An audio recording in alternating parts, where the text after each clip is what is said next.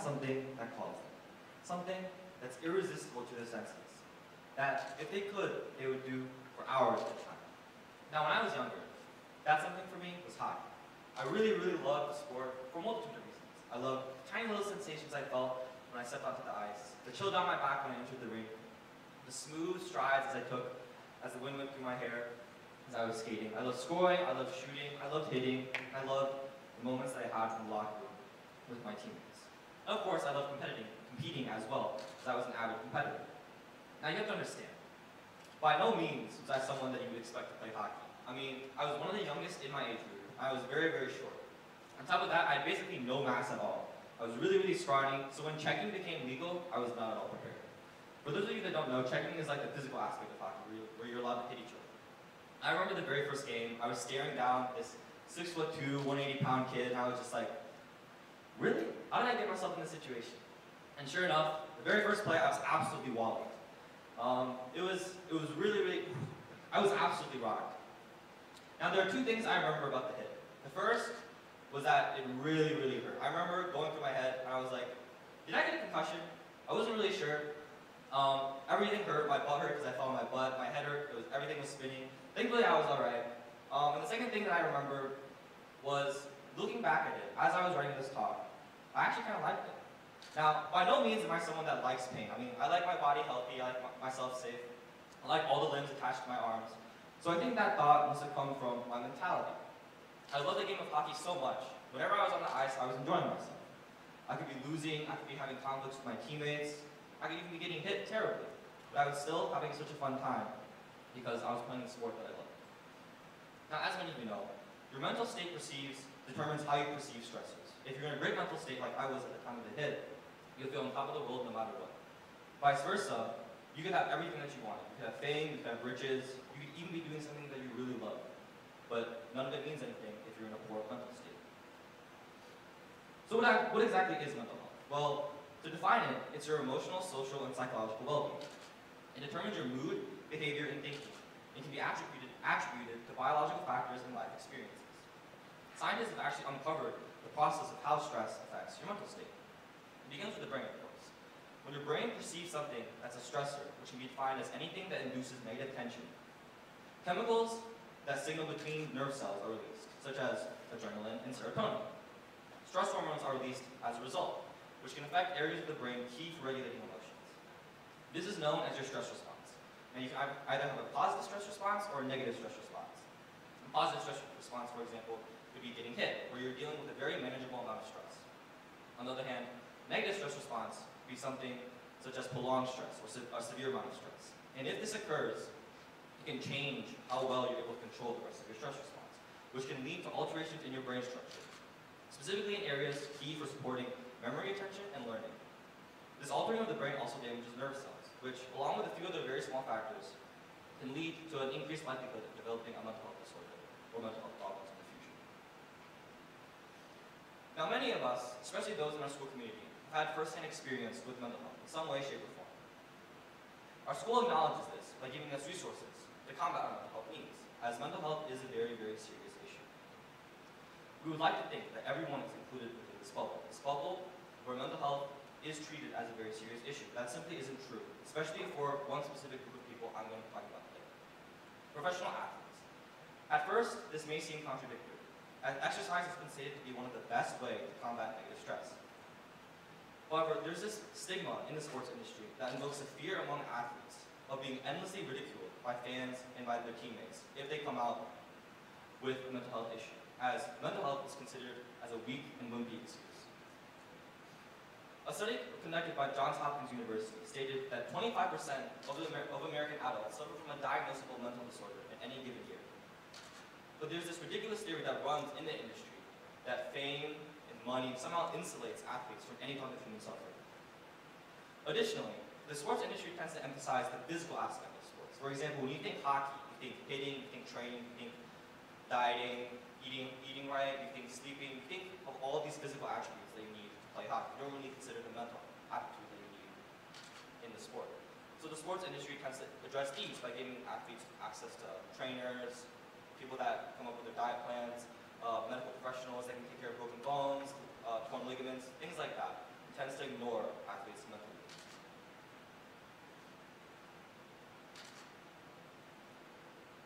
A prime example of this is the infamous National Basketball Association event, uh, the Malice at the Palace. In this event, a player by the name of Ron Artest ended up sucker punching the fan. Now, I can't really show you any images or videos of this fight, but I can run you through the play-by-play. So, in the NBA, there's a lot of scuffling after the whistle. Scuffling is like pushing and shoving, a little bit of trash talk that happens out of frustration or competitiveness. In this particular situation, there was a little bit of scuffling after the after the whistle, and Artest, who had been known for lashing out at other players, decided to disassociate himself from the conflict and lay down at a nearby table. And this is where it got really, really bad. A fan decided it was a good idea to throw a water bottle at Artest.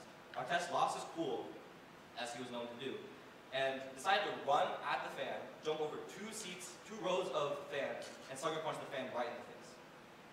And he ended up getting the wrong fan, actually. Um, so he ended up hospitalizing someone who was not a part of the conflict at all. Um, and the events that ensued after was absolute chaos. Fans that saw Artest punch the fan ended up fighting back at Artest. Artest's teammates who saw Artest was outnumbered began going to Artest's defense. And then there were just brawls all over the court. There were fans fighting fans, uh, players fighting coaches, coaches fighting fans, etc., etc. And it was really, really, really bad. The conclusion of this event was a 42-game suspension for Artest, which is basically half an NBA season. Artest stated during his retirement that many people have called him crazy because of this event, including some of his own teammates, who admitted themselves that they did not yet understand what mental health was at the time. Artest's journey with mental health stability shows just how rash the consequences can be when the proper resources aren't allocated towards mental health on a professional stage. The sports industry shows that it fails to support those with mental health disabilities. Um, but that's not the only thing the sports industry has done regarding mental health. They've also been known to cause mental health problems within their own athletes. Um, and this is through pressure. So when you're at the top, pressure is usually your main foe. It's not the other team, it's usually yourself, and the pressure to succeed. Um, the flashy lights, the glitz and glamour, the media coverage, sometimes it's a bit too much for a lot of players and they break. Um, players that have spent their entire lives building around one sport find that they cannot perform on the biggest stage anymore. Such is the case with Naomi Osaka, who was number one in the world in 2019 on the pro tennis scene women. Osaka was relatively unknown up until 2019, where she took the world by storm and won four Grand Slam singles titles, as well as became number one ranked player in the world of 2019. Um, and just as quickly as she rose, she fell. In the 2021 French Open, Osaka, after winning her first match, decided to not meet with media personnel after, the, after her match, stating personal reasons. This resulted in fines and threats of expulsion thrown towards Osaka. And she responded to this by dropping out of the tournament, as well as stating that she would not be participating in the upcoming Wimbledon Championships the following month, which can, Wimbledon is arguably the biggest uh, tennis competition in the calendar year. Osaka's reason for this was the media. She didn't want to meet with the media as she had been battling the media for some time, as they had heavily, heavily criticized her ever since she fell from her number one spot in 2019. She was tired, burnt out, she said. She didn't want to talk with the media, but the media was adamant on criticizing her and even attacking her at times. So she was just done. So she left. So the sports industry has shown in this example that it's not just unrelenting on the body, it's unrelenting on the mind as well. As there's this pressure created by media and fans break. Now, both Osaka and Artest were able to return to the pro scene in their respective sports. Artest played 12 more NBA seasons and even won a championship in the process. And Osaka is now currently back in the pro tennis scene. So what exactly needs to happen for these athletes to receive the help that they need? Well, in my time as an athlete, I found that when you're faced with insurmountable obstacles and feel hopeless, the best thing to do is, is to surround yourself with people that will understand and support you, people that will stick by you, stick by you through thick and thin. Athletes aren't invulnerable, they need breaks too. Osaka, for example, simply took a hiatus from the sport that she loved, taking time to work on herself and time away from the ever so critical media and the very, very, very difficult expectation, constantly living. Artest, after the malice of the palace, began to open up about his mental health issues. And he was heavily, heavily criticized by many fans and uh, by most media as well, called wimpy and weak. But he had the support from many of his fellow teammates support from his coaches as well, and was able to play those 12 more seasons. During his retirement, many of those that had ridiculed Artest decided to reach out to him and apologize for the things that they had said about him during his career, because they acknowledged how drastic of an issue mental health is. Mental health pertains to all of us. We all need resources and the means to alleviate our mental stressors. After all, we're all human. For those of you that are fighting your own mental health battles, it's important to know to support others. We need to support others so that they will support you when time comes. Athletes have been able to fight amazing mental health battles with their amazing battles with their mental health demons, equipped with support, their friends, their family, and most importantly, their families. So what have we done? Well, past events have shown that pressure, the stress, from an athlete's own pressure to succeed to and media persistence can lead to an athlete's status, which proves that the sports industry, mental health is a very, very, very important issue. From local communities to the largest of stages, all of us can become more knowledgeable on the topic of mental health, so that we're able to help those that, as us Gen Zers say, are going through it. Mental health is a very, very important issue. Um, and I feel very thankful that throughout my time as an athlete, I was able to get the support I needed from my friends, from my teammates, from my coaches, and from my family. So that even though I've had terrible experiences with the sport of hockey, I've lost games horribly, I've had conflicts with my teammates, I've even broken bones from that sport. I've lost so much time and sacrificed so much that I can still look back